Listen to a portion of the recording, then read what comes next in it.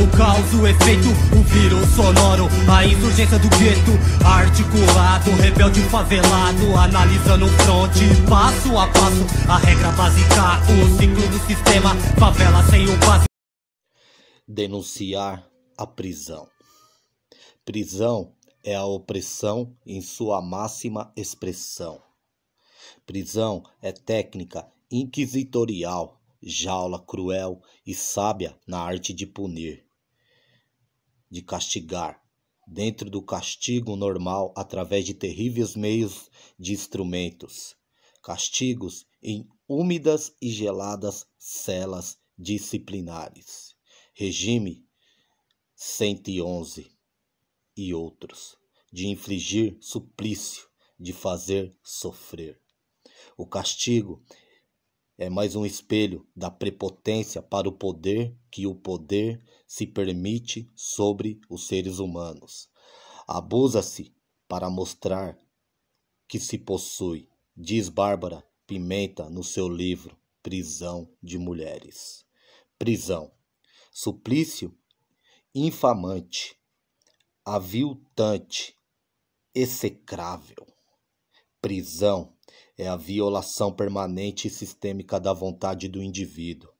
É ser registrado, anotado, descrito, biografado, mensurado, comparado, aviliado, medido, observado, catalogado, contado, vigiado, espiado, dirigido, manipulado, normalizado, admoestado exortado, intimidado, chantageado, provocado, perseguido. Prisão local em que o direito inalienável à indignação é oprimido barbaramente com torturas, quando não se pode amordaçar através da lobotomia química, forte dose de psicotrópicos, três vezes ao dia, pela manhã, ao meio-dia e à noite, doses de lagartil que fazem o indivíduo rastejar por algum tempo, e ainda chantagens que violam direito às designadas medidas de flexibilidade da pena, incluindo ameaças várias, tais como: assim serás transferido para outra prisão, longe de teus familiares, ou ainda aparecerá enforcado. Toma um rumo na vida. Prisão. O poder sobre os corpos. Os gestos cronometrados e comandados. Os olhares, os comportamentos, os movimentos, os trajetos. É o controle dos horários impostos e das atividades subsequentes. A prisão infantiliza, faz regredir, é o anulamento do ser, é a perda da capacidade de pensar, refletir, de decidir minimamente sobre a própria vida.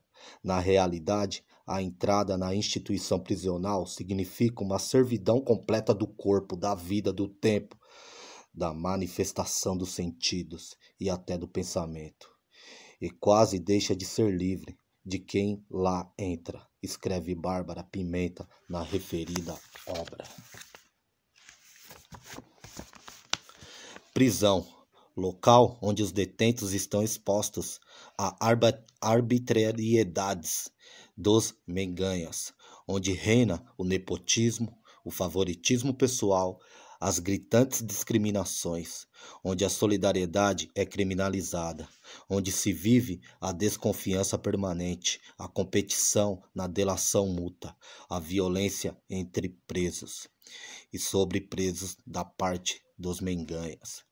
Tudo fomentado pelo sistema com o objetivo de que a indignação contida não se oriente contra o sistema e passe a questioná-lo.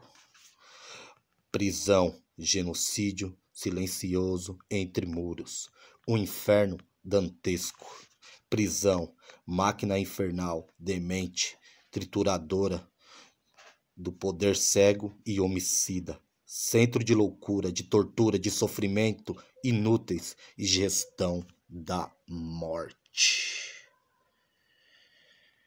Punição não é a solução. Não é a solução. Abolir as prisões. Firmeza, rapa. Li aí uma parte do texto, certo? Desse livro aqui, certo? Cartas de Madrid e outros escritos de presos anarquistas, certo? Li uma parte do texto aí, porque o, te o texto é um pouco extenso, mas fica aí a reflexão e a sugestão da leitura desse livro aqui. Firmeza? É isso. Libertação dos pensamentos. Rimas insurgentes do gueto. Paz entre nós, guerra aos senhores sempre.